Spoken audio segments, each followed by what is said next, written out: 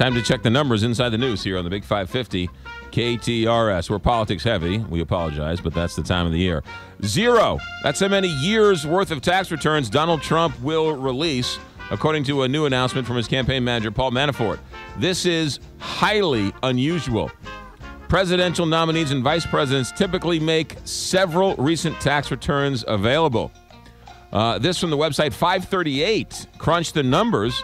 Donald Trump is not doing very well with Catholics.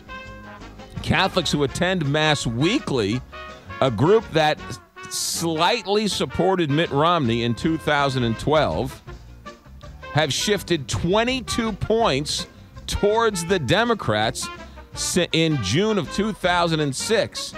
They now, listen to this, now Catholics support Hillary Clinton in greater numbers than even Catholics who attend Mass less than weekly. Hmm. Uh, on uh, Thursday, according to Gallup, for the first time, Donald Trump and Hillary Clinton have identical favorable ratings. Just 37%.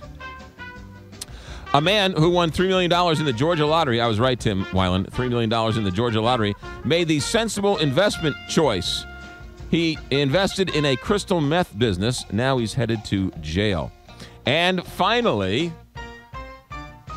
guess this is unbelievable, this story. Um, during the GOP convention last week, this phrase jumped 1,150% in Google searches. What was the phrase that jumped over 1,000% in Google searches during Donald Trump's speech last week?